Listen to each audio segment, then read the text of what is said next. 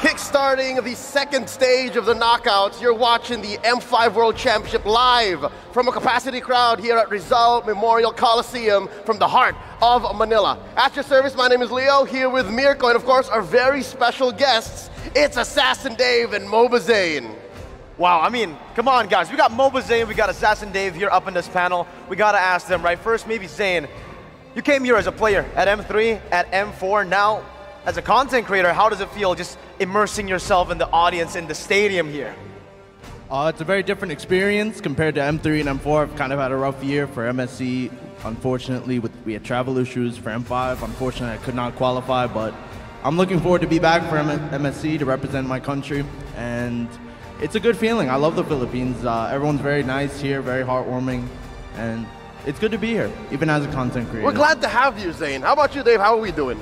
Uh, I gotta say, it feels pretty good to be truly immersed in a better than great environment. Just to emphasize the fact that NA is gonna be better than great next time, we'll come back stronger because this feels awesome to be here. And I wish every single player can be here to experience this. Dave, you were with us earlier uh, in M4 as an analyst, so you got to really look behind the scenes as to how things went. How are you looking at the final top six teams right now? Because we're saying goodbye to, sadly, two of them here tonight. I gotta say, um, I'm really looking forward to Honest Match, but today's game are gonna be exciting, right? Because I, I tr- truly believe that Blacklist and Geek, they have very similar playstyle with support roams, you know? So it's gonna be quite exciting who brings out the best of that strategy.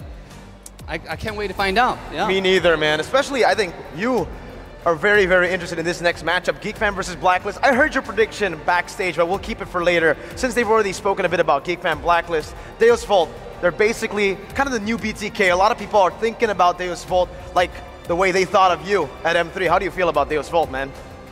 Uh, you know, it's kind of obvious that they are the dark horses of the tournament, and they bring a lot of kind of excitement, you know, especially Kid Bomba. Some of them are very eccentric and they're very funny players. So not only are they amazing, but they bring uh, great entertainment as well. It's really great for the M Series.